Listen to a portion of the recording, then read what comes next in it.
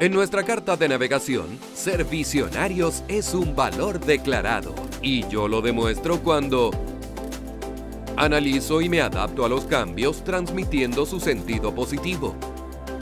Aprendo de las experiencias, sean de éxito o de fracaso. Creo firmemente en lo que hago y en lo que mi empresa propone.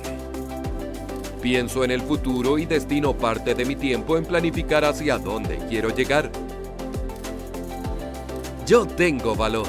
Mi compañero tiene valor.